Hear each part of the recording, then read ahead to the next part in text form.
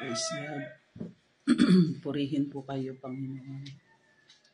Sa mapagpalang umaga po sa ating lahat, sa umagang ito muli tayong mag-aaral ng salita ng ating Panginoon. At bago po natin magsimula tayo ng pag-aaral ay uh, umawi po muna tayo sa ating Panginoon. Purihin natin ang kadakilaan ng ngalan ng ating Diyos. Hallelujah. Hallelujah. Purihin po kayo, Diyos. Hallelujah.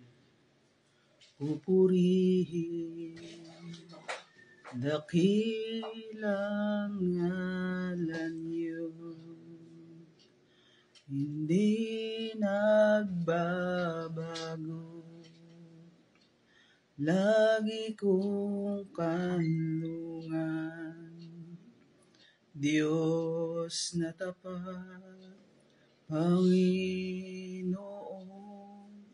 Emmanuel, Jehovah, walang hanggang Ama, ilaw at kapayapaan, Alpha at Omega, Diyos na tumatahan sa pagpupuri ng bayan. Pupurihin dakilang ngalan niyo. Hindi nagbabago. Lagi kong kanlungan. Diyos na tapat, Panginoon, Emmanuel, Jehovah, walang hanggang Ama, ilaw at kapayapaan, Alpha at Omega, Diyos na tumatahan sa pagpupuri ng bayan, sa pagpupuri ng bayan. Salamat po sa inyo, Panginoon. Pinupuri po namin kayo, O Diyos. Patuloy na itinataas, patuloy na pinararangalan. At ang pasasalamat po namin lagi ay nasa inyo at nakalaan. Yung aming mga puso sa inyo, O Diyos, sa umagang ito. Patuloy po nawa, Panginoon, sa pag-aaral ng aming sali, ang inyong salita, Panginoon. Samahan niyo po kami pangunahan, O Diyos, ng iyong pagsama, paggawa, ng pagkilos niyo ng banal yung Espiritu sa aming kalagitnaan, O Diyos. Hallelujah. Salamat po sa inyo. Ang papuri po ay sa inyo at pagdakila ay sa inyo, Ama. Sa pangalan ni Jesus. Amen. At sa umaga pong ito ay uh, mayroon po tayong pagbubulayan sa aklat po ng uh, mga gawa sa chapter 1 verses 1 to 8. At uh, nakikita po natin ang sabi ng verse 8, But you shall receive power when the Holy Spirit has come upon you, and you shall witness to me in Jerusalem, and in all Judea and Samaria and to the end of the earth. Ibig sabihin, mayroong uh, ang Panginoong Jesus ay uh, nagministeryo sa Heso Kristo sa kanyang mga apostol ng apat na pong araw pagkatapos ng kanyang pagkabuhay na magulit. Nihanda niya sila na maging mga saksi niya sa buong mundo. Amen po ba? Babasahin po natin yung uh, aklat ng mga gawa.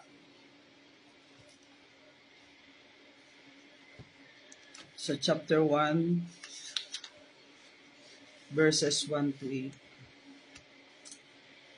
Ang sabi po rito, simula sa verse 1, Minamahal kong Theopilos, sa aking unang aklat, isinulat ko ang lahat ng ginawa at itinuro ni Jesus mula nang magsimula siya sa kanyang gawain. Hanggang sa araw na dinala siya sa langit, matapos siyang mamatay at mabuhay muli. Makailang beses siyang nagpakita sa kanyang mga apostol sa iba't ibang paraan para patunayan sa kanila na muli siyang nabuhay.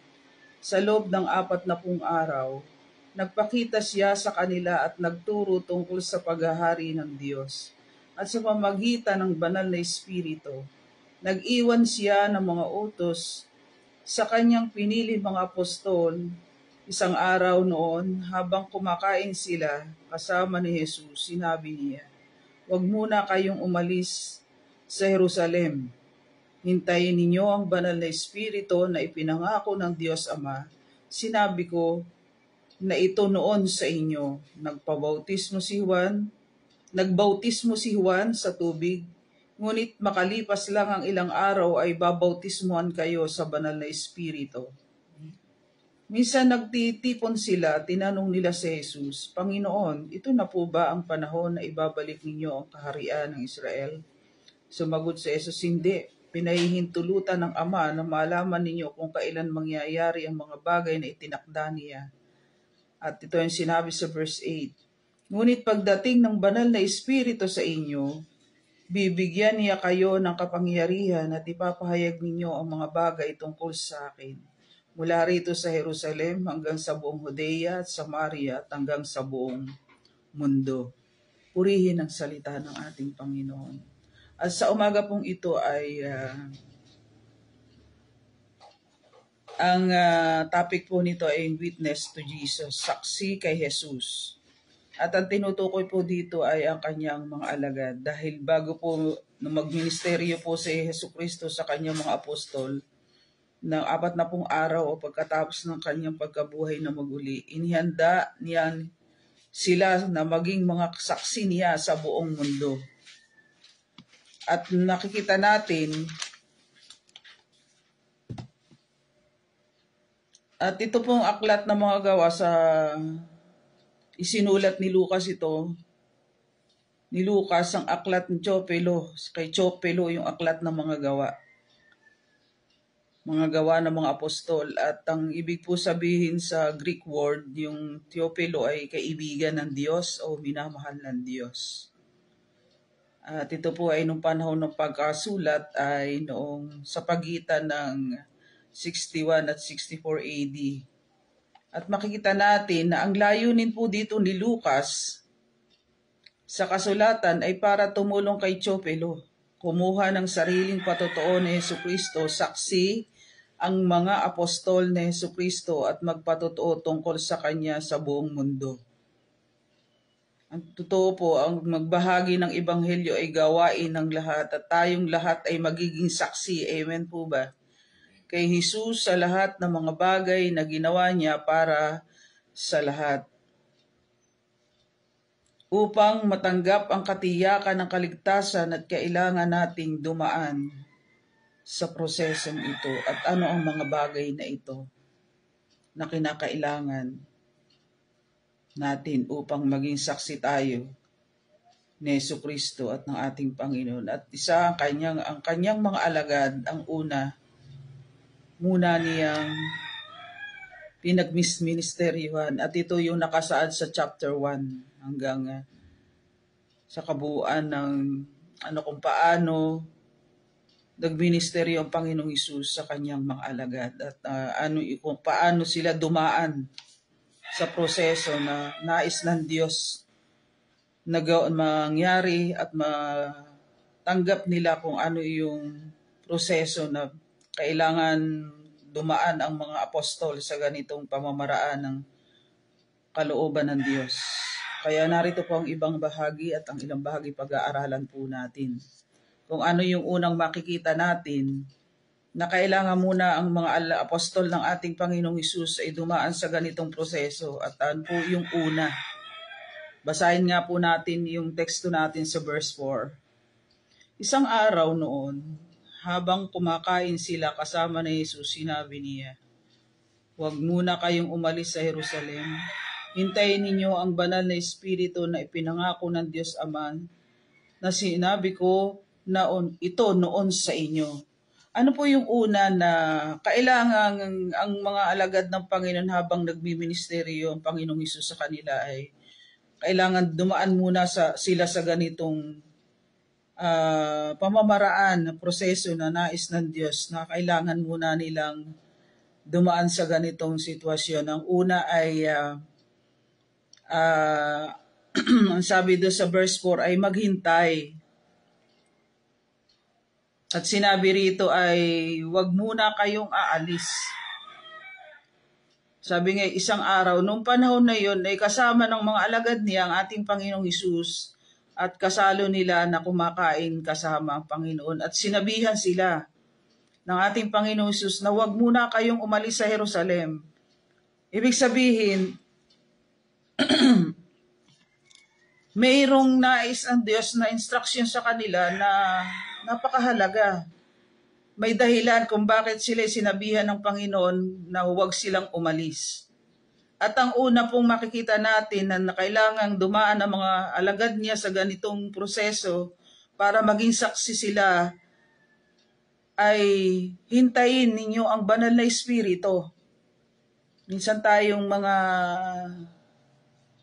ang likas na, na tayong mga tao ay minsan ay mainipin tayo pag tayo nagiintay. Lalo na pag tayo may pananalangin, may hinihiling sa Panginoon sa pamamagitan ng pananalangin. Tayo ay naiinip. Likas nating mga tao yung ganong bagay.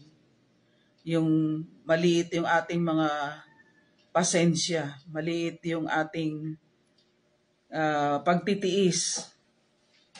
Pero may sinabi ang Panginoon sa kanyang mga alagad na maghintay sa Panginoon. Wait upon the Lord. Maghintay. Sapagkat sinabi ng Panginoon, nung kasama nila ang ating Panginoon Jesus habang sila ay nasa hapag, kasalo nila sa nakumakain ng Panginoon. Sinabi ni mismo ng ating Panginoon at sa kanya mismo nang galing na huwag muna kayong umalis sa Jerusalem kung saan doon naroon sila nakasama niya kanyang mga alagad na minsan tayo bilang tayo mga lingkod ng Panginoon, bilang tayo mga mananampalataya, tayo pag minsan nasa gawain, parang lagi natin tinitingnan-tinan yung oras, yung mga ano na, kailan kaya ito matatapos? Minsan doon sa bahaging iyon ng paglilingkod natin, hindi pala natin nabibigyan ang kaluhuran ng ating Panginoon nang yung pala mayroong gagawin ng Diyos doon sa time na nagtitipon kayo sa karangalan ng dakilang pangalan ng Diyos, lalo na sa mga gawain. At may gagawin ng ang Panginoon na mga kamangha-manga, na mga himala, ay hindi mo matatanggap dahil nainip ka doon sa gawain dinaluhan mo. Lalo na pag nag-imbita ka at yung inibita mo ay uh, nauna na sa iyong nakahanda at ikay iniintay at nainip yung inintay mo. Ganun yung bahagi na kung bakit minsan hindi natatanggap ng bawat isa yung inihiling sa Panginoon. At pag dumating na parang kung titingnan sasabihin ay hindi, wala naman nangyayari, hindi naman tumutugon. Pero may sinabi ang Panginoon mismo, ang Panginoon nagsabi sa kanila, huwag kayong aalis Huwag muna kayong umalis sa Jerusalem.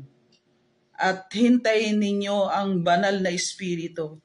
Yun po pala, kailangan sila ay makatanggap ng higit na makapangyarihan mula sa ating Panginoon na impala ay yung banal na espiritu na iyon yung ipinangako ng Diyos Ama at noon pa man ay sinabi na ito ng Panginoong Isus sa kanyang mga alagad. Kaya minsan tayo bilang mga lingkod ng Panginoon, minsan may isang sasalita sa, sa mundo ay, kailan pa kaya sa, nangamatay na nga inuno namin, hindi pa dumadating sinasabi nilang si Jesus na darating. Yung po minsan yung mga katwiran ng mundo. Pero tayong mga lingkod ng Panginoon at nananampalataya sa Diyos, pag mismo sa Panginoon nang galing yung kanyang sinabi at sinalita sa atin, mayroon tayong matatanggap at pangako niya ito at ito ang banal na espiritu.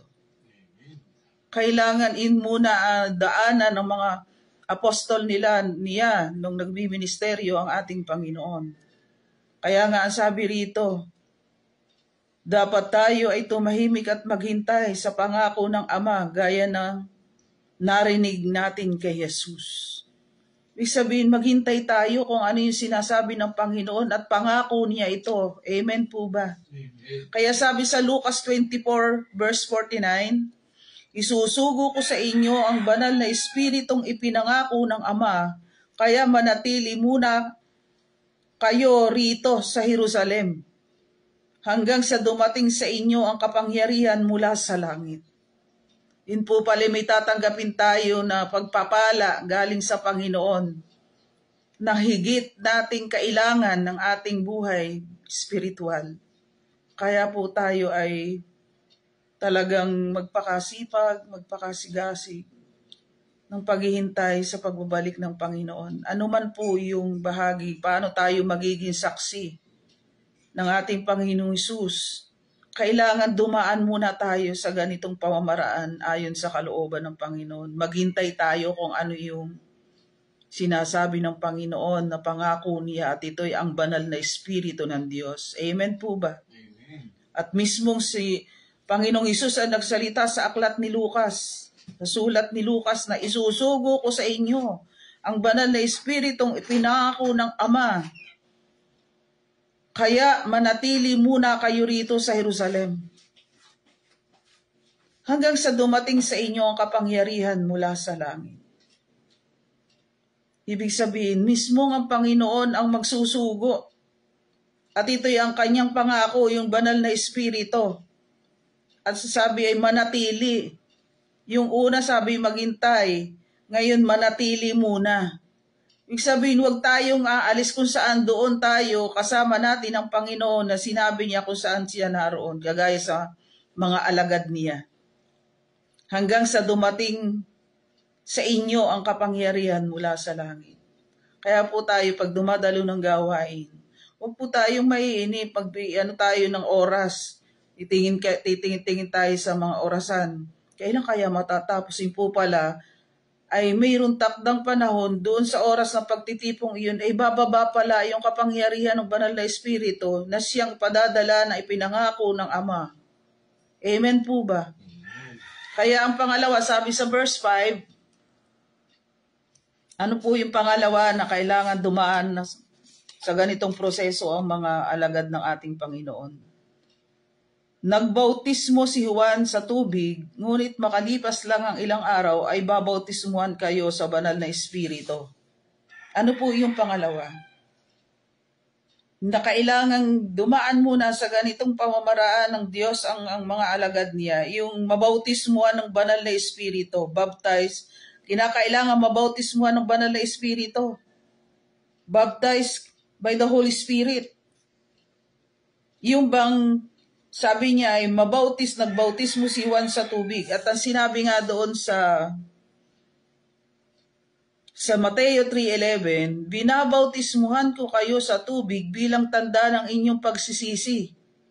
Ngunit may isang darating na kasunod ko, mas makapangyarihan siya kaysa sa akin, ni hindi ako karapat-dapat na maging alipin niya. Binabautismuhan niya kayo sa banal na espiritu at sa apoy at pinatutuhanan ito sa aklat ng Mateo 3.11. Kaya ang sabi rito, kailangan muna tayo ano, tumanggap ng pagpapahid mula sa Diyos sa pamamagitan ng banal na Espiritu. Amen po ba? Sapagkat sinabi sa uh, Tito chapter 3 verse 5, iniligtas niya tayo hindi dahil sa ating mabubuting gawa, kundi dahil sa kanyang awa. Iligtas niya tayo sa pamagitan ng banal na Espiritu na naghugas sa atin at nagbigay ng bagong buhay. Amen po ba? Amen. Kaya pinatutuhanan lamang sa pamamagitan ng bautismo ng banal na Espiritu, iniligtas ta- niya tayo. Hindi dahil sa ating mabubuting gawa, kundi dahil sa kanyang awa. Amen. Pangalawa, iniligtas niya tayo sa pamamagitan ng banal na Espiritu na naghugas sa atin at nagbigay ng bagong buhay. At magpasalamat po tayo sa Panginoon. Kailangan din po tayo na mga lingkod ng Panginoon ay dumanas, dumaan sa ganitong proseso para tayo po ay maging saksi ng ating Panginoong Isus bilang mga tagapagpahayag ng katotohanan ng salita ng Diyos. Amen po ba? Amen. At ang pangatlo, sa verse 8, baba po tayo sa verse 8. Ngunit pagdating ng banal na Espiritu sa inyo, bibigyan niya kayo ng kapangyarihan at ipapahayag ninyo ang mga bagay tungkol sa akin. Mula rito sa Jerusalem hanggang sa buong Judea at Samaria at hanggang sa buong mundo. Siya, sabi po sa pangatlo, Share the love and the goodness of God. Ibahagi ang pagmamahal at ang kabutihan ng Diyos. At nakita natin na sinabi ng verse 8, Ngunit pagdating ng banal na Espiritu sa inyo, bibigyan niya kayo ng kapangyarihan. At yun po pala yung pangako ng Diyos na kinakailangang i-share natin, ibahagi natin ang pagmamahal at kabutihan ng Diyos at ipahayag ninyo ang mga bagay tungkol sa akin, sa mismong sabi ng ating Panginoong Isus. Ibahagi natin ang kapangyarihan, yung tungkol sa ating Panginoong Isus mula rito sa Jerusalem hanggang sa buong Judea at Samaria at hanggang sa buong mundo. At ito po yung tatlong bagay na binigay ng Panginoong pagmiministeryo sa kanyang mga alagad. Yung sila'y maghintay at sila'y kinakailangang mabautismuhan sa banal na Espiritu at kinakailangang ibahagi ang pagmamahal at ang kabutihan ng Diyos. Amen. At makikita natin na kinakailangan, ang sabi rito,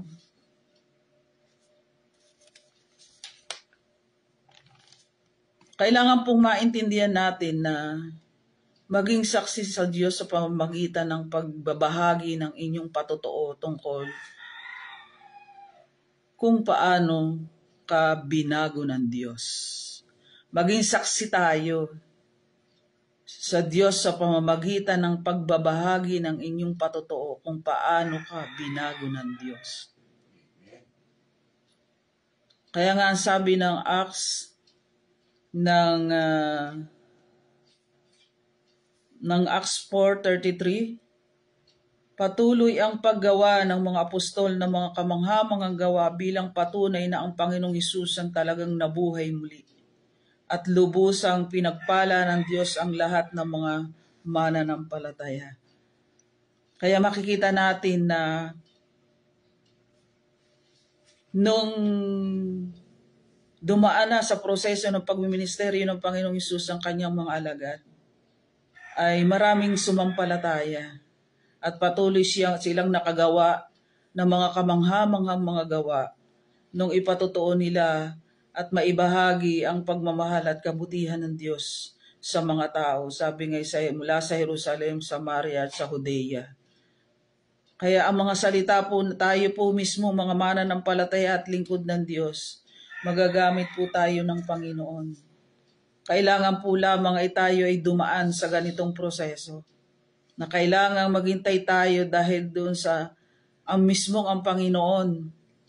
Hintayin natin kung ano yung kamanghamang gagawin ng Panginoon at ito po yung ginawa ng Panginoon sa kanyang alagad kung paano gumawa ang kanyang mga apostol at ang kamanghamanghang mga gawa ay patunay na ang Panginoong Isus ay talagang nabuhay na maguli. Amen po ba? Amen. At lubusang pinagpala ng Diyos ang lahat ng mga mananampalataya at ito noong panahon na yon nung ibahagi at ishare ang kabutihan at pag-ibig ng Diyos sa mga tao mula sa Judea, sa Jerusalem, sa, sa Judea at Samaria. Maraming sumampalataya. Sabi nga, and with great power, the apostle were giving their testimony rescue him of the Lord Jesus and great grace was upon them all. Kaya po silang lahat ay ng mga, pinan, pan, mga, mga mananampalataya ay lubusang pinagpala ng Panginoon. Amen. Kaya po, at may dakilang kapangyarihan ang mga apostol ay nagbigay ng kani-kanilang patotoo sa muling pagkabuhay ng Panginoong Isus at dakilang biyaya ay nasa kanilang lahat. Amen po ba? Kaya nga po sabi ng Lucas 24.48, kayo ang mga saksi ng mga bagay na ito. Amen. Amen. Hallelujah. Purihin po ang ating Panginoon at sa umaga pong ito ay uh, magpasalamat po tayo sa Panginoon na tayo po ay isa sa mga pinili ng Diyos at tinawag. Tayo po ay isa na mga lingkod ng Panginoon, ng mga mananampalataya na naway tayo ay uh, yung ganitong pagmiministeryo ng Panginoong Isus sa kanyang mga alagad sa ating pong buhay bilang tayo ay mga mananampalataya ng Panginoong Isus. Huwag po tayong mag-iinip, huwag tayong uh, maghintay po lamang tayo dahil mayroong matatanggap tayo na pinangako ng Panginoon natatanggapin natin kundi ito ay ang kapangyarihan ng banal na Espiritu. At ang sino pa man pong hindi pa na babautismuhan ng banal na Espiritu ng Diyos ay sikapin po ng bawat isa sa atin. Tulungan natin na nasain natin ang kapangyarihan ng banal na Espiritu sapagkat kung tayo puno ng kapangyarihan ng banal na Espiritu, lahat ng bagay ng ating gagawin and Diyos ay siyang patuloy na magtatagumpay sa atin. At ibahagi po natin bilang tayo mga mananampalataya na maging patotoo tayo sa iba upang tayo maging saksi ng ating Panginoong Hesus. Na makapagbahagi tayo at maging patotoo, makapagpatotoo tayo ng mga kabutihan at pag-ibig na nagmumula sa Diyos at ito yung kanyang pagliligtas sa atin. Hindi nga tayo naligtas dahil doon sa ating mabubuting gawa, kundi naligtas tayo sa pamamagitan ng banal na Espiritu na nagugas sa atin at nagbigay ng bagong buhay. Salamat po sa ating Panginoon ngayong pong umaga. Nawa ang mga salita pong ito ng Panginoon na mensahe na ipinabot sa atin. Nawa ito ay lubos nating uh, patunayan bilang tayo mga lingkod at mga mananampalataya ng Panginoong sa Kristo. Lalo tayong magbahagi, lalo tayong maging patotoo sa iba at ibahagi natin ang katotohanan na mapatunayan na ang Diyos mismo ay muling nabuhay sa pamamagitan ng kanyang mga apostol ay gumawa sila, nakagawa sila. Bakit sila nakagawa ng kamangha-mga? Dahil naroon ng Panginoon ang banal na Espiritu na siyang sumasa kanila. Kaya purihin natin ang ating Panginoon ngayong umaga at pagpalain po ninyo, Panginoon, ang mga salita ninyo, O Diyos, na inyo pong inilahad at ipinaabot sa aming mensahe ngayong umaga. At naway ang inyo pong mga lingkod na naabot ng gawaing ito ng pag-aaral ng mabuting balita ninyo o Diyos. Ay naway kami rin po ay maging uh, maging saksi ng ating Panginoong Isus sa pamamagitan ng pagbabahagi at pagpapatotoo ng katunayan ng pag-ibig at kabutihan ng Diyos na aming natanggap mula sa inyo. Purihin po kayo at pagpalain niyo po ang uh, mga anak ninyo sa pag-aaral ng salita ng Diyos ngayong umaga na naabot ng mensaheng ito at uh, salamat po sa inyo mga kapatid sa Panginoon na ang bawat isa sa inyo ay talagang tayo ay magnasa na tayo ay talagang mabautismuhan ng banal na Espiritu at maranas at nasain natin yung pinakang uh, mabuti para sa ating bilang tayo mga lingkod ng ating Panginoon Isus. Kaya nawa ang bawat isa sa atin maging saksi ng ating Panginoon sa pamamagitan ng paghahayag at pagbabahagi ng salita ng Diyos. Purihin po ang ating Panginoon, purihin ang kadakilaan niya, at uh, pasalamatan natin ang kanyang kadakila at kapangyarihan ng kanyang mga salita sa umagang ito. Kaya po sa umagang ito, Binabati ko po ang lahat ng mga nakiisa sa pag-aaral ng salita ng Diyos ngayong umaga at uh, sa lahat po ng pamilya Masaredo ay akin pong pinasasalamatan ng Panginoon na naging daan sila para kami lumago sa pagbabahagi ng salita ng Diyos. At sila po'y pagpalain niyo, lalo po niyo silang magamit sa kadakila at kapangyarihan ng inyong kaloob para sa kanila. Pagpalain niyo po sila, ang mga ministry nila, at ang kanilang mga pamilya. Hanggang sa aming mga tagapanguna, mga kapatid sa Panginoon, basbasan niyo po ang bawat isa pagpalain. Salamat po sa inyo. Umabati po ako ng magpagpalang umaga sa aming mga kapatid na nakaisa ngayong umaga sa pag-aaral ng salita ng Diyos. Purihin ang Panginoon. Purihin po kayo, O Diyos. Hallelujah. Salamat po, Panginoon, sa ah, umagang ito. Pinagpapasalamat namin sa inyo ang ah, inyong pagsama at ang iyong paggawa at pagkilos ng banal yung Espiritu sa aming kalagitnaan na siya nag, magpaunawa sa amin, siyang nagkaloob sa amin ng inyong kapangyarihan upang makagawa kayo sa aming buhay. At salamat sa inyong kapahintulutan na nagamit niyo ang inyong lingkod. At kayo, Panginoon, ang mabigyan namin kapurihan sa umagang ito at mabigyan namin mayroong mataas na pagpapasalamat at pagdakila. Salamat po. Salamat po sa mga nakinig. Salamat po sa nakiisa. Pagpalain po kayong lahat.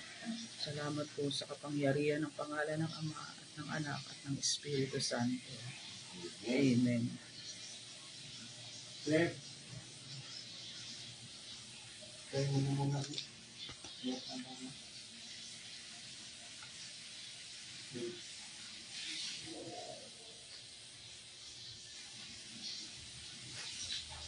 Claire, muna muna.